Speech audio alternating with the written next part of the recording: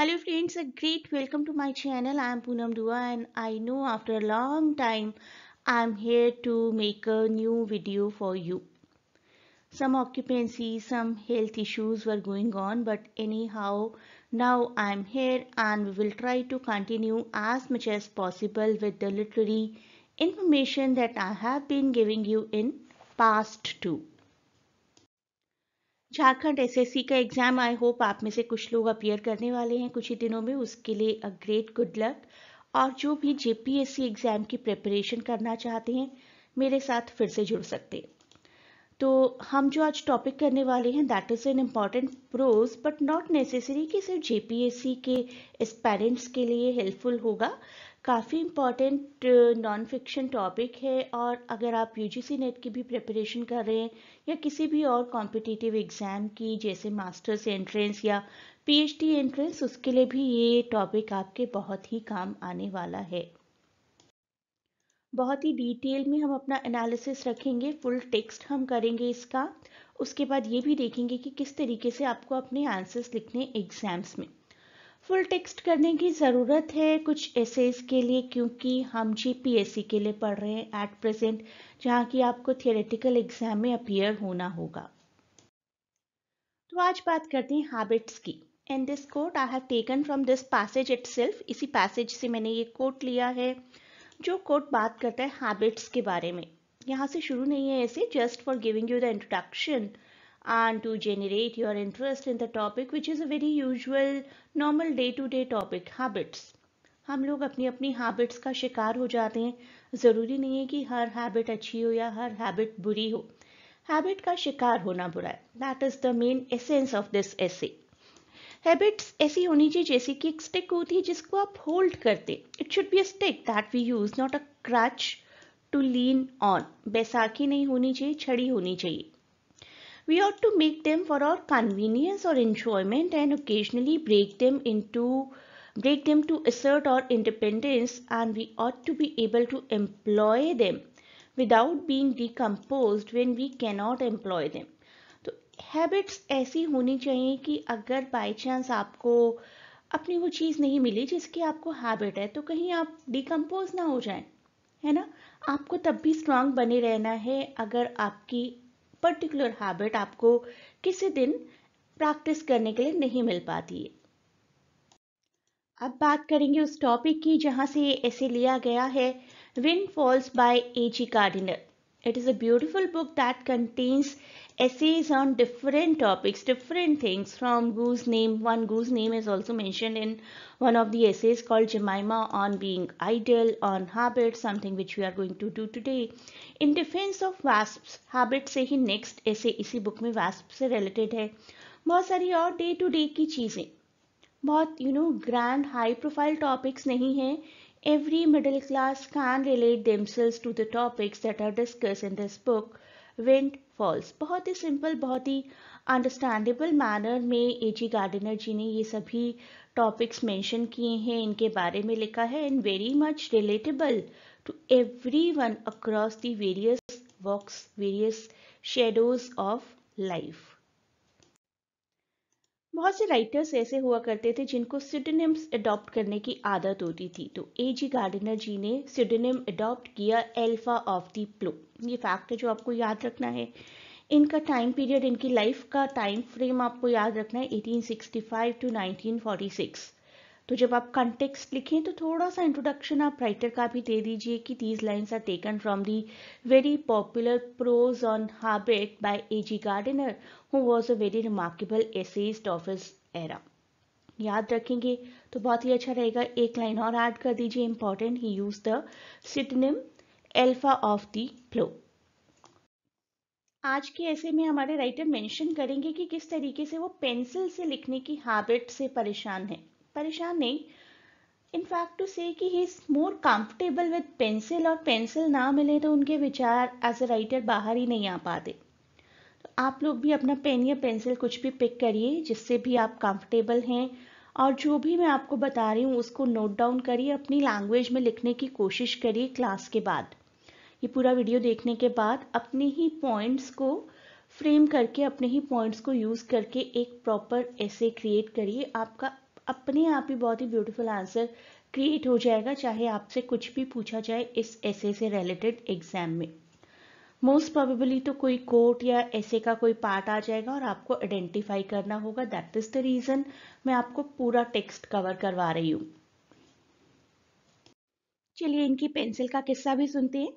He begins his essay by referring to his own habit of writing with a pencil One morning he sat down to write an article uh, but found that he could make no progress. No progress why? I am a good writer. मैं क्यों नहीं लिख पा रहा हूँ और उन्होंने reason ढूँढने की कोशिश की तो पाया कि उनके हाथ में पेन है पेंसिल नहीं है pen that someone had presented him in commemoration of his anniversary It was an excellent pen, no doubt about it, but it refused to move on. Pen ने मना कर दिया मैं तो आगे कुछ नहीं लिखूंगा आपके लिए The thought was over. It occurred to him, Gardiner, that it was in conflict with a habit. अरे ये तो मेरी हैबिट की वजह से ही was habitual of writing with a pencil but at that time since he was sitting with the pen in his hand the whole complex of habit was disturbed The pen was unfamiliar to the touch pen का touch उनके लिए unfamiliar था। थोड़ा सा और थोड़ा सा alien feel कर रहे थे वो। He could write the present essay only when he put up his pen and used a pencil instead. तो ये ऐसे भी जो हमारे पास है, इस फॉर्म में, आजकल पीडीएफ की फॉर्म में बुक की फॉर्म में ओरिजिनली लिखा उन्होंने पेंसिल से ही। है पेन यूज़ करके वो लिख नहीं पाए। अब हम इस पूरे टेक्स्ट को एनालाइज करने के लिए जा रहे हैं। आप सब कुछ प्लीज़ नोट डाउन करिए। एटलीस्ट वो इम्पोर्टेंट पॉइंट्स जो मैं आपको बताऊँगी, वो सभी आप लोग नोट डाउन करिए। यू नेवर नो कहाँ से कौन सी लाइन आपको एग्ज़ाम में आ जाएगी। I set down to write an article this morning but found I could make no progress कोई आर्टिकल लिखने बैठा और कोई प्रोग्रेस ही नहीं थी। There was grit in the machine somewhere kind of you know जैसे हम बोलते हैं कि मशीन के अंदर कोई खराबी आ गई थी तो मशीन अपने आप को कह रहे हैं वो। There was grit in the machine sand in the machine and the wheels refuse to revolve कितना अच्छा उन्होंने एक मेटाफोरिकल रिप्रेजेंटेशन यूज़ किया है अपनी हैबिट के लिए कि ऐसा लगा किसी मशीन के अंदर सैंड आ गई और उसने चलने से मना कर दिया। I was writing with a pen a new fountain pen that someone had been good enough to send me in commemoration of an anniversary. My interest in which is now very slight किसी ने मुझे gift तो किया being writer writer को क्या gift करें, वो भी उस पॉइंट ऑफ़ टाइम पर जबकि आजकल के जैसे ऑनलाइन गैजेट्स नहीं हुआ करते थे pen used to be the most useful gift specifically for a writer तो किसी ने कर दिया गिफ्ट बट वो कह रहे हैं कि मेरे तो किसी काम का नहीं है ऑफ़ विच वन और two well meaning friends are still in the habit of reminding me तो एक ऐसा काम मुझे करने को दे दिया कि पेन से लिखने का जिसके बारे में मुझे मेरे दोस्त याद भी दिलाते रहते हैं लेकिन मुझे पता है कि मेरे किसी काम का ये पेन नहीं है क्योंकि I am habitual of writing with a pencil आप देखिए पेन के बारे में वो क्या कहते हैं पेन की बुराई नहीं करते He says कि it was an excellent pen, broad and free in its spaces and capable of a most satisfying flourish. It was a pen. You would have said that could have written an article about anything. Pen, आपके हाथ में pen है, आपके हाथ में pencil है, क्या फ़र्क पड़ता है?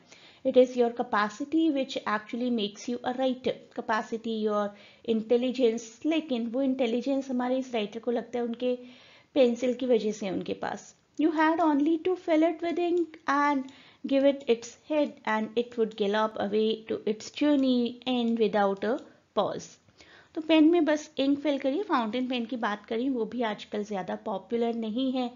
बस पेन में इंक फिल करिए और आपकी जर्नी चलती जाएगी without any pause that is how I felt about it when I sat down मैंने भी यही सोचा था पेन से लिख लेंगे आज। But instead of galloping the thing was as obstinate हमारी इस छोटे से ऐसे में बहुत इंटरटेक्चुअलिटी है। इंटरटेक्सचुअलिटी का मतलब होता है किसी और टेक्स्ट का या किसी और फ़ेमस इंसिडेंट का या पर्सन का यूज़ करना अपने टेक्स्ट में।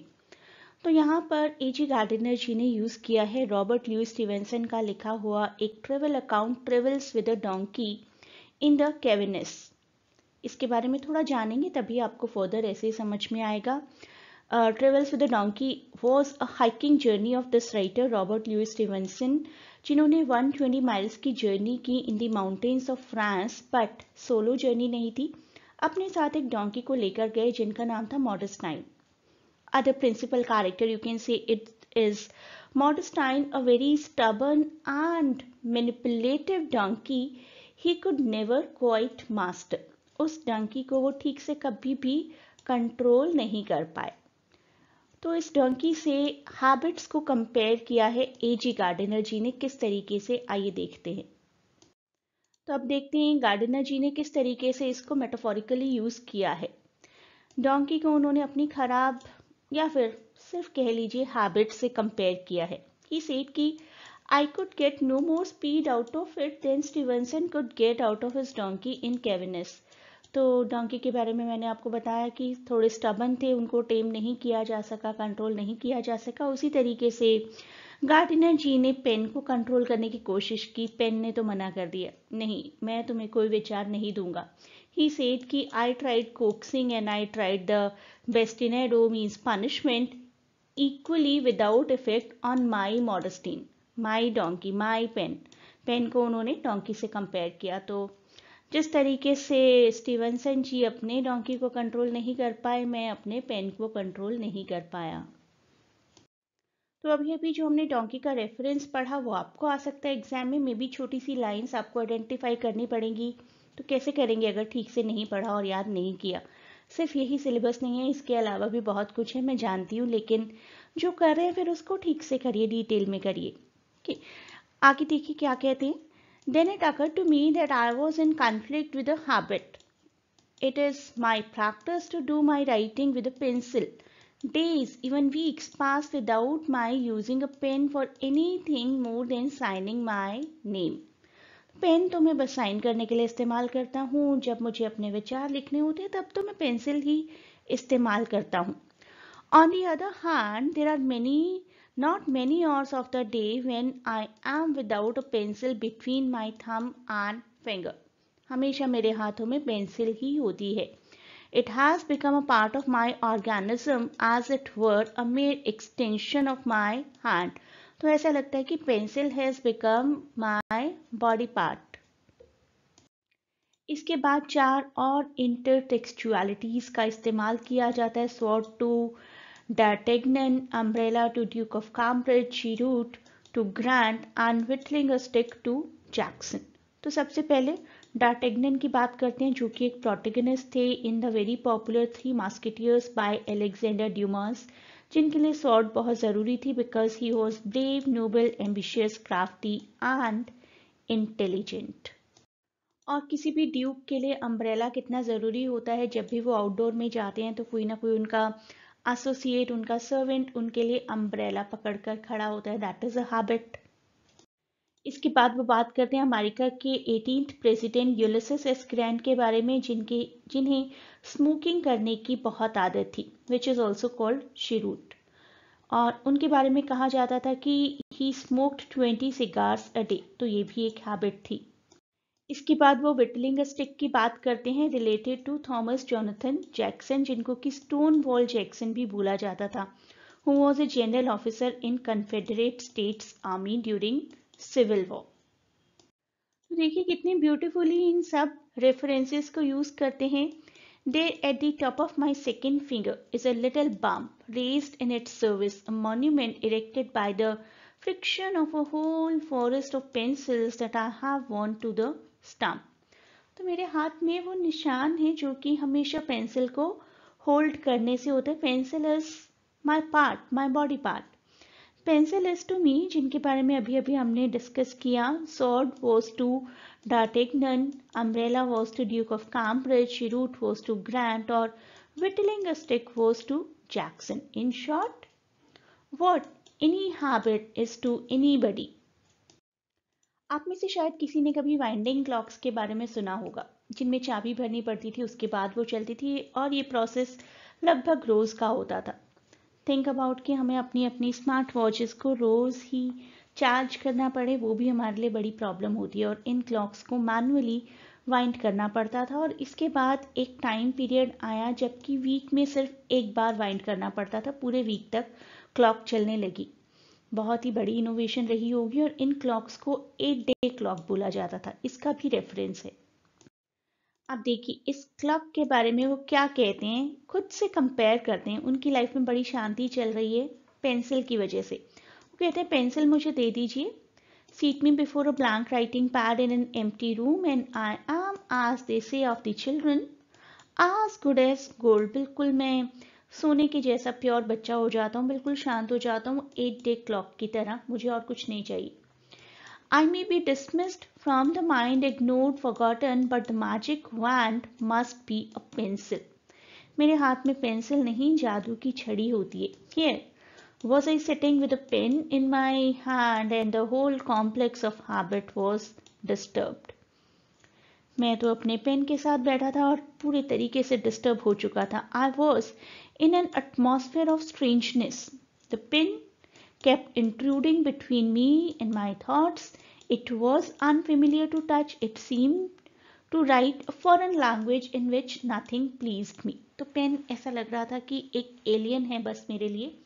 Instead of thinking about my ideas my thought I was thinking about the difficulty that I was facing because of holding a pen in my hand instead of a pencil. इसके बाद फिर से हमारे writer referral वे में बात करते हैं sir Walter Scott जो कि अपने टाइम के काफ़ी पॉपुलर राइटर थे ब्रिटिश राइटर उन्होंने अपनी एक हैबिट के बारे में अपनी फैमिली को बताया रॉजर्स फैमिली से वो बिलोंग करते थे Walter Scott and he says about school days there was a boy in my class at school who stood always at the top, nor could I, with all my efforts, supplant him. Day came after day, and I still and still he kept his place do what I would, till at length I observed that when a question was asked him, he always fumbled with his fingers at a particular button in the lower part of his waistcoat. तो जब भी उनसे कुछ सवाल किया जाता था उस टॉपर से तो अपने वेस्ट कोट के लोएस्ट बटन को छेड़ते थे अब स्कॉट जी के दिमाग में आया कि अगर उस बटन को रिमूव कर दिया तो बच्चे की इंटेलिजेंस भी चली जाएगी To remove it therefore became expedient in my eye and in an evil moment it was removed with a knife. मैंने remove कर दिया एक knife लेकर. Great was my anxiety to know the success of my measure and it succeeded too well. तो बड़े anxious थे Scott जी देखने के लिए कि कितने अमाउंट की सक्सेस मिलती है When the boy was again questioned, his fingers sought again for the button, but it was not to be found. वो बटन था ही नहीं काट दिया गया था In his distress, he looked down for it. It was to be seen no more than to be felt. तो बच्चे ने ढूँढने की कोशिश की नहीं मिला he stood confounded and I took position of his place तो वो बच्चा उस दिन के बाद से कंफ्यूज हो गया आंसर्स नहीं आए उसकी तरफ़ से उतने इंटेलिजेंट और स्कॉट जी ने उसका प्लेस ले लिया not did he ever recover it और ever I believe suspect who was the author of his wrong तो ना तो वो बच्चा कभी इंटेलिजेंट बना, दोबारा ना ही कभी सस्पेक्ट कर पाया कि आखिर गलत क्या हुआ था और किसने किया था।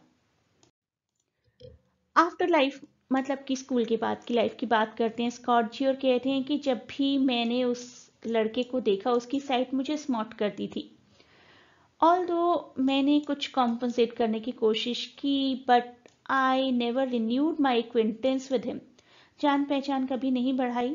I often saw him for he filled some inferior office one of the courts of law at Edinburgh तो एक ऐसा बच्चा जो कि टॉपर था, वो एक इंफीरियर जॉब कर रहा था। Poor fellow I believe he is dead he took early to drinking तो हैबिट की वजह से क्या क्या हो जाता है? उस बच्चे की अगर वो हैबिट टॉपर बने रहने की habit because of that button बनी रहती तो शायद कोई हाई प्रोफ़ाइल जॉब कर रहा होता वो बच्चा। और अभी पुअर है and has taken to the habit of drinking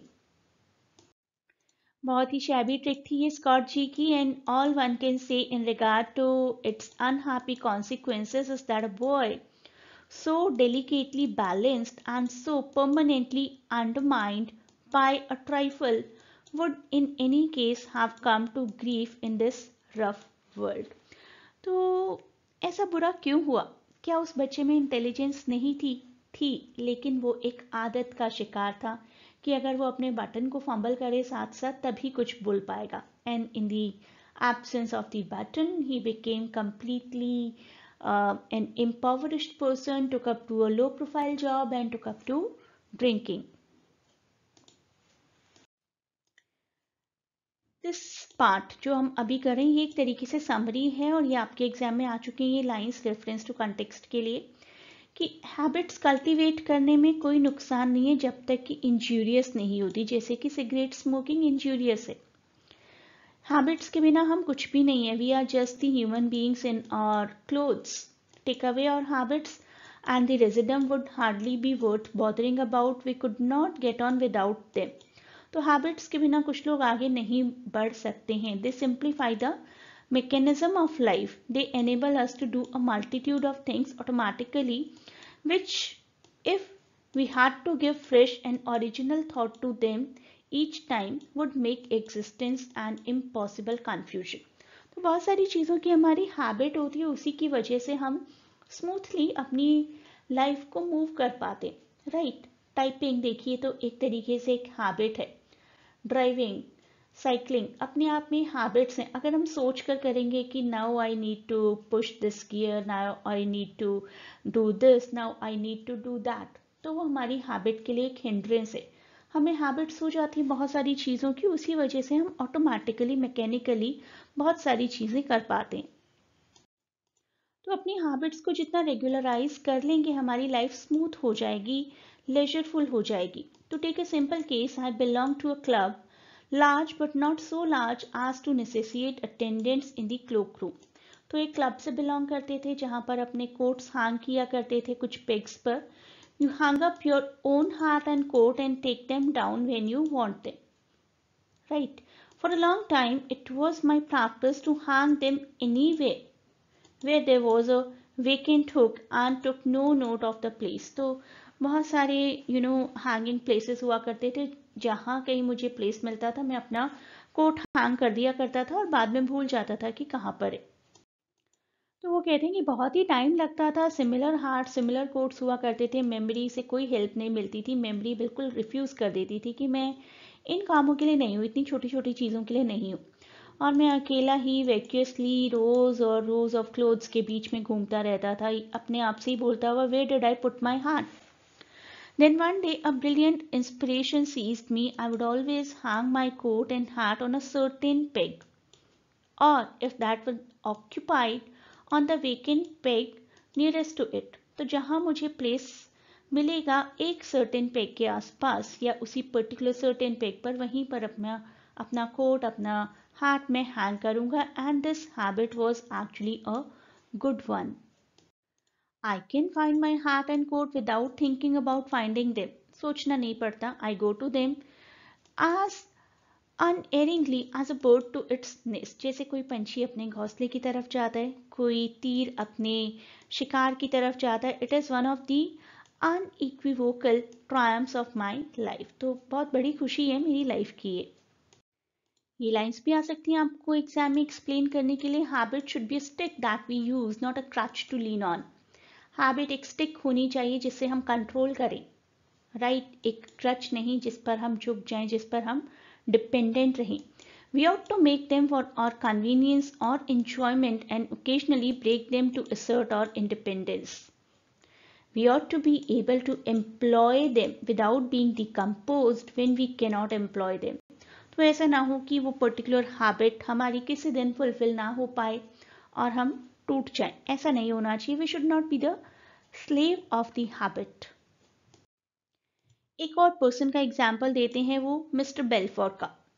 So it is compose like Scott's school rival by a trivial breach of habit dressed I think in the uniform of an elder brother of Trinity House he was proposing a toast at a dinner at the Mansion House तो mister Balfour नाम के कोई person थे जिन्हें कोई speech देनी थी।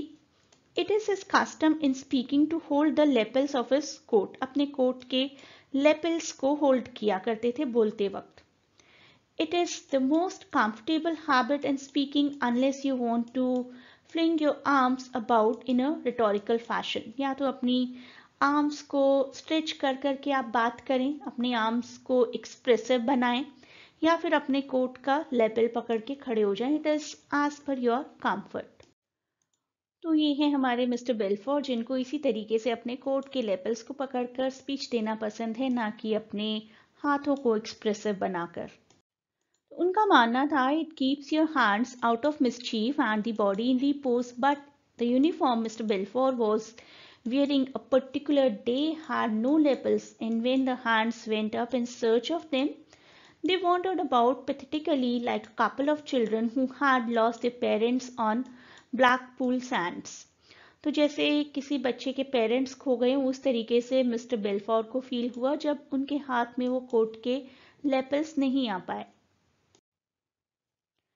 तो बहुत ढूंढा मिस्टर बेलफोर ने, बहुत नर्वस हो गए और resume the search for the lost lapels travel behind his back fumbled with the glasses बहुत कोशिश की उन्होंने देखने की इधर उधर on the table sought again for the lapels did everything but take refuge in the pockets of the trouser it was a characteristic omission तो बाद में उन्होंने सोचा, चलो, और कुछ नहीं तो पॉकेट्स में अपने हाथ डालकर ये स्पीच देते हैं. Although he was not as comfortable as he could be with lapels. Mr. Belfort is too practiced a speaker to come to disaster as the boy in Scott's story did. तो वही हुआ जो Scott की story के boy के साथ हुआ था but his discomfiture was apparent बिल्कुल सब लोगों को समझ आ गया कि कुछ तो डिस्कम्फर्ट है बेलफोर के साथ he struggle manfully through his speech, but all the time it was obvious that he was at a loss what to do with his hands.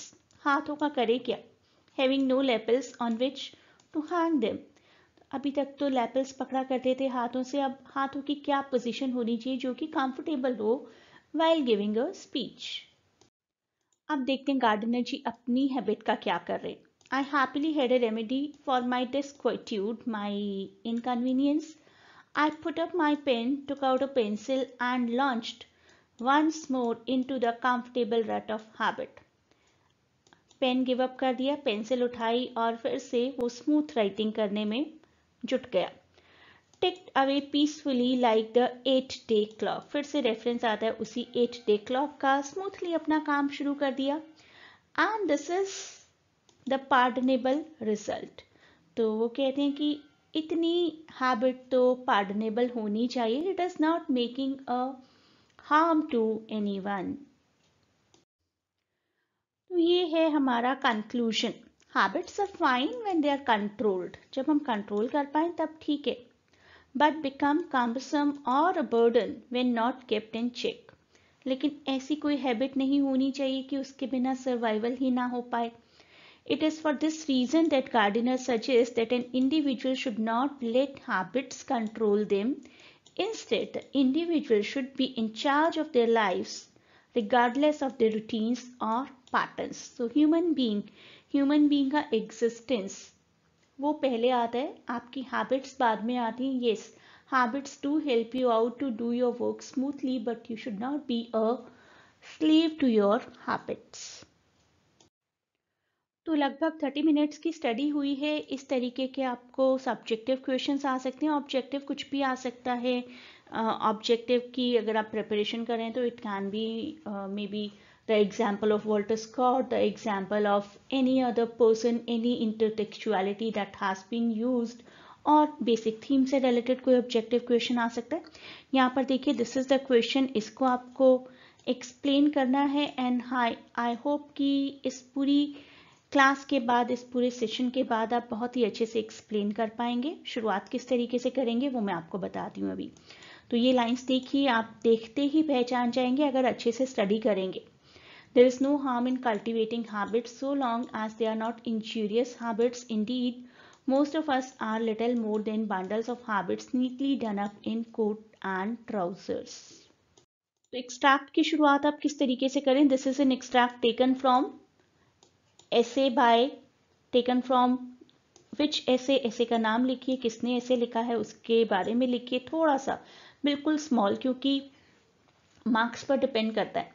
Five marks का अगर क्वेश्चन आएगा तो आप बहुत ज़्यादा नहीं लिख सकते। Maximum you should write about hundred words hundred to hundred twenty तक एक्सटेंड कर सकते हैं। इससे ज़्यादा मत करिए।